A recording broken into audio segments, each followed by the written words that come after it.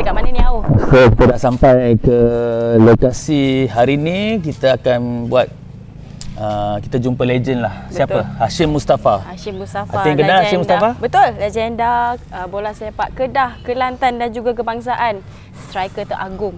Kalau Ah. geng-geng bola yang 90-an tu tak kenal Hashim Mustafa maknanya dia tipu lah dia layan Hmm, bola. Sama-sama era dengan siapa Au? Azmat Adnan, Ah, betul. Matlan Marjan, Dola Saleh. Hmm. Ha, dia nganga tak tahu tu. so sebab kita dapat perkabaran duka katanya baru dia potong kaki. Jadi kami nak bawa anda untuk tengok keadaan beliau Betul. dan mungkin kehadiran kita dapat bagi semangat juga kepada legend kita ini. Okey? Betul. Boleh? betul. Jom. Boleh? Jom. Ready? Jom.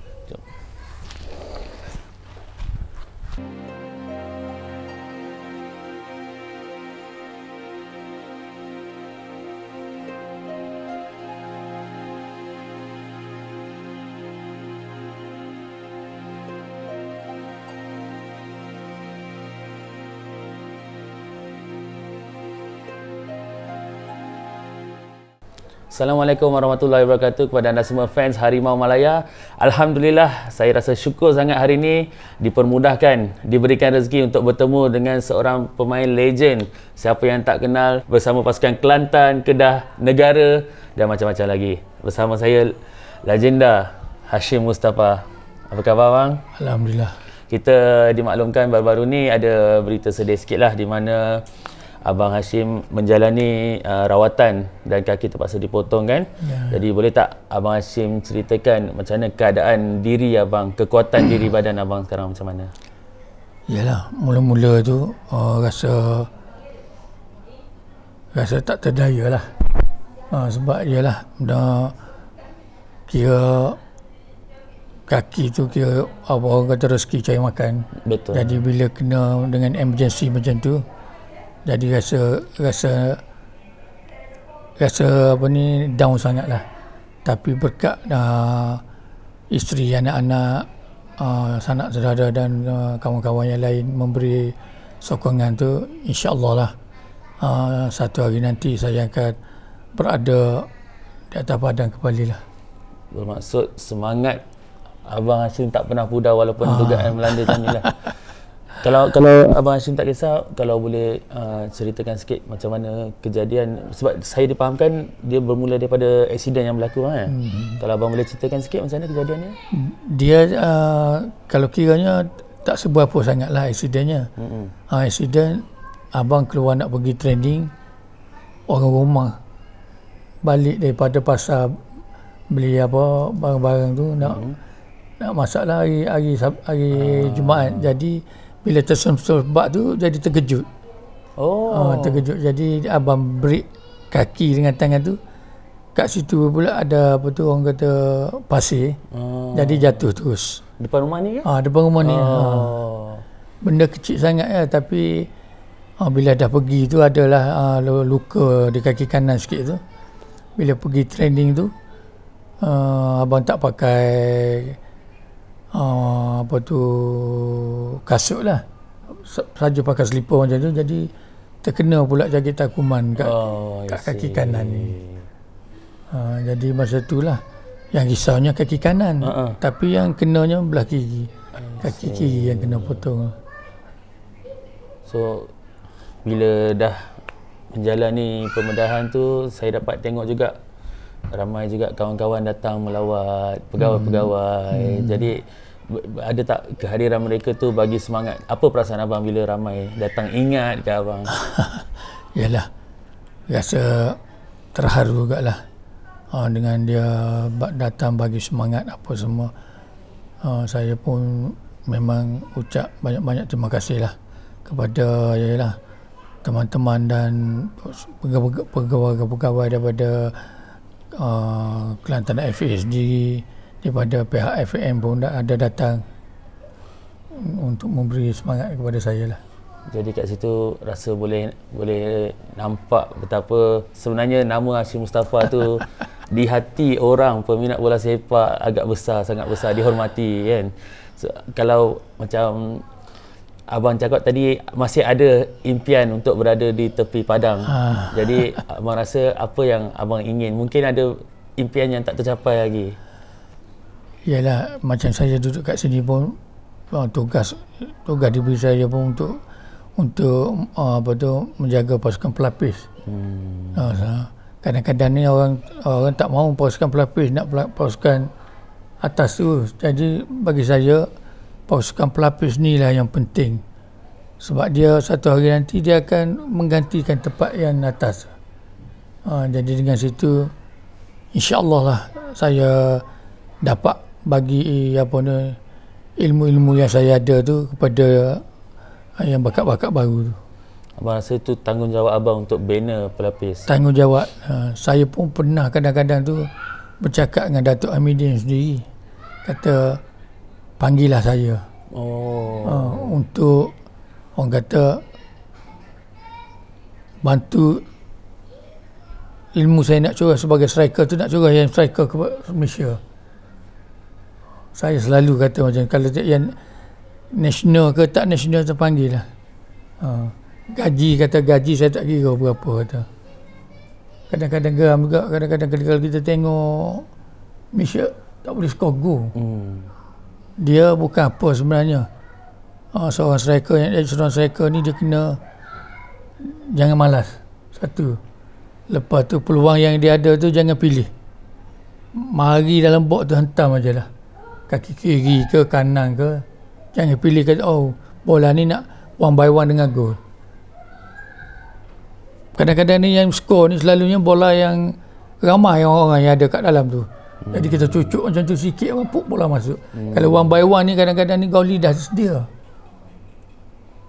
Sekarang, abang punya hmm. karakter, uh-huh. abang tak kira setiap kali game aku nak skor go aku tak kira Kelantan menang ke Kelantan kalah ke aku tak kira yang satu go tu Hashim Mustafa yang skor jadi niat tu dah ada macam tu kalau dapat banyak Alhamdulillah ha.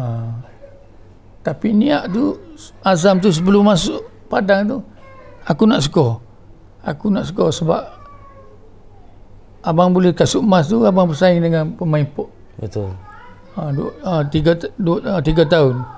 Tahun 90 satu division 2 dapat. Hmm. 93 94 abang bersaing. 93 abang bersaing dengan Josh Iriati penyerang daripada Argentina. Yes last game tu dia 12 abang 10 ha, cuba abang masuk, masuk, masuk game hari tu. Kelantan lawan Negeri Sembilan. Pahang lawan. Kalau tak ingat kalau tak silap dia lawan dengan Perak. Cuma abang masuk itu ya Allah aku kalau rezeki aku kasut emas tu dapat kat aku. Jadi main malam tu abang skor 3 biji. Dia tak skor jadi abang 13 dia 12 tapi Abang Hashim kalau kalau sendiri lah peribadi lah dalam hmm. banyak-banyak kejayaan tu kan hmm. yang mana yang Abang rasa sendiri rasa paling manis lah yang kasut emas tu lah Ha. Yang 93 94 yang paling best. 93 94. Dua-dua sama lah. Ada, uh, ada orang kata ada sejarah hmm. tersendirilah. Hmm. Uh, lepas tu satu lagi uh, pemain terbaik kejohanan di Aceh. Hmm. Masa tu dia dia bawa dia pilih Kelantan pergi wakil untuk Malaysia. Tahun berapa? Uh, 93.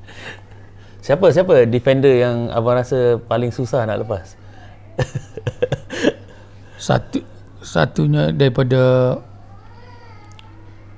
Kedah lah. Yang mana?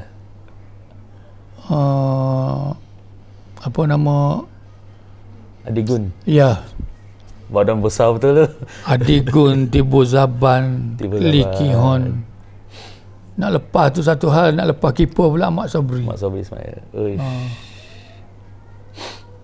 dia keep defense Selangor ni bukan kata susah-susah juga tapi kadang-kadang bila main di Selangor apa tu dia kadang-kadang dia terlalu gairah uh, dia nak ke depan ah uh, yang tu yang kena selalu kena yang Mehmet memang selalu ke depan oh tapi dia memang seorang defender yang bagus lah.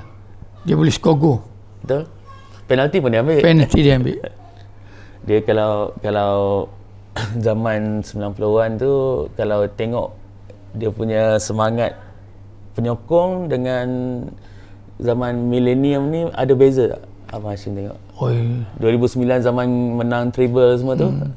Macam mana abang rasa perbezaan zaman dulu dengan fans pula macam mana? Yalah kalau kira fans sekarang pun cidik-cidik dia. Hmm. Dia, tak- dia dia dia kira gila-gila pun dia ada ada tahap lah. Ha. Ha, kalau dulu memang gila-gila betul lah. Dengan bakar apa, terak kat, kat luar apa semua. Ha. Tapi nak, nak kata pun sekarang pun terjadi di apa? Uh, Indonesia. Indonesia. Boleh tak ceritakan macam mana respon pertama bila dapat tahu Abang Hashim Mustafa terpaksa dipotong kakinya? Hmm, tu perasaan tu macam-macam ada. Uh, macam mana? eh? Macam kalau kita rasa macam kalau nak potong, betul ke kalau potong selama lama kita potong, benda tu boleh boleh boleh baik lagi tak? Tapi kalau kita tak potong, takut benda tu makin merebak. Jadi itulah itulah bincang dengan Abang Hashim dia dia pun dia kata dia redha apa semua. Kata tak apalah sebab keputusan dia sendiri. Hmm, kita tak apa kita ikut je mana terbaik ikut je. Tadi Abang Hashim ada bagi tahu juga lepas pembedahan tu rasa agak down juga kan sebab Ya, ha. kaki itulah punca rezekinya. Ah, ya, itulah. Jadi apa apa yang puan uh, beri pesanan ke untuk dapatkan bagi bantu Abang Hashim dapatkan kekuatan dia balik. Apa yang puan bantu? Itulah duk minta minta Abang Hashim macam su kuat Kuat kita semua ada, anak-anak semua ada bagi support dia apa semua. So, kalau macam kalau dia kuat tu maksudnya benda ni cepatlah nak sembuh ke macam mana kan. Kalau dia down tu benda tu lambatlah sikit. Hmm, itulah atas diri dia juga tapi kita bagi support belakang lah. Gitu je lah. Sambil ya tapi saya rasa dalam keadaan tu tak tak mudah lah untuk dapatkan kekuatan balik kan. hmm, itulah. Berat bahu yang memikul, berat mata memandang pun berat juga. Ah, ya, ya. Puan sendiri macam tengok keadaan pernah menangis tengok Ah, dengan Abang Hashim. Nangis tu kalau nak kira dah tak ada air mata. Itulah. Sebab ha, inilah kaki bagi dia segala-gala. Bagi dia. Cuma insyaAllah lah. Lepas ni yang akak minta, minta dia kuat. Kita boleh pakai kaki palsu. Boleh hidup macam normal balik lah. berapa lama yang akak tengok Abang Hashim tu nak dapat dia punya semangat tu balik lah berapa lama proses tu Proses tu adalah juga dalam hari mula-mula dalam seminggu dua tu memang dia down lah seminggu dua tu. Hmm, tapi ni macam dah adik-beradik semua, adik-beradik dia semua datang bagi support, bagi ni nampak dia tu kuat lah sikit. Hmm, semua anak-anak pun semua ada. Tu nampak kuat lah. Kawan-kawan dia pun ramai. Ha, dia dah bagi sokongan apa. bila tengok ramai kawan-kawan pegawai pun Hmm, datang ha, itulah. akak rasa uh, Abang Hashim dapat penghargaan yang Ha, se- itulah. sepatutnya dia ha, dapat Tu, tu rasa macam ramai lagi nak tengok dia sihat. Ramai orang datang. Kira tak putus lagi ni. Datang ni. Tengok dia apa semua. Itulah. Tadi Abang Hashim ada bagi tahu harapan dia untuk kembali ke padang bola juga. Akak sendiri tengok akak harapan akak untuk tengok Abang Hashim kembali sihat macam dulu. InsyaAllah. Tu pun akak pun memang ha, nak suruh kuat. Nak tengoklah dia macam dia boleh pergi padang lagi. Tu, sebab jiwa dia duduk kat situ. jiwa dia duduk situ. Ha. Nak latih cucu tiga orang. Ah cucu. cucu. Ha, dia pun kata ha, dia tak puas lagi nak main dengan cucu-cucu dia. Dia kata, itulah. Bolehlah nak main-main dengan cucu. Nak suruh sehat. Nak suruh kuat yang sebelah tu lagi. InsyaAllah bolehlah pakai kaki palsu. Abang Hashim macam mana Abang Hashim tengok pengorbanan isteri Abang Hashim dalam jaga abang? Dia segala-gala. Aduh. Tak adalah. Kekuatan saya duduk kat dia.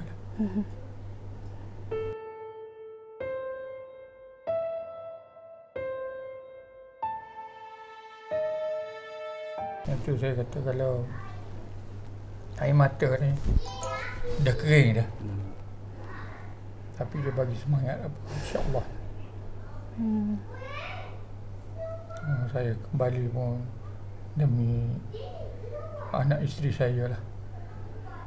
InsyaAllah.